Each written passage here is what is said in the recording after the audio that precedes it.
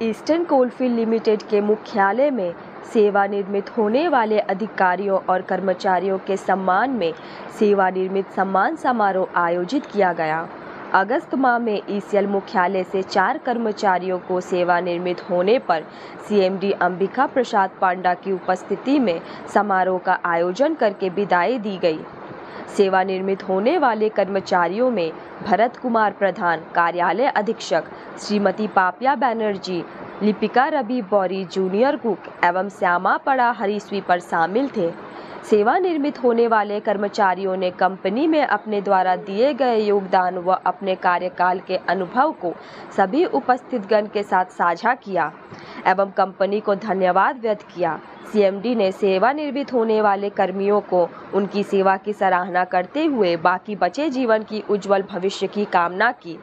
इस अवसर पर वित्त निर्देशक एम डी अंजार आलम, कार्मिक निर्देशक आहुति स्वाई, तकनीकी निर्देशक योजना परियोजना नीलेंद्र कुमार सिंह, तकनीकी निर्देशक संचालक नीलाद्री रॉय समेत विभागाध्यक्ष और कर्मचारी उपस्थित थे। खबर पांडेश्वर की रिपोर्ट।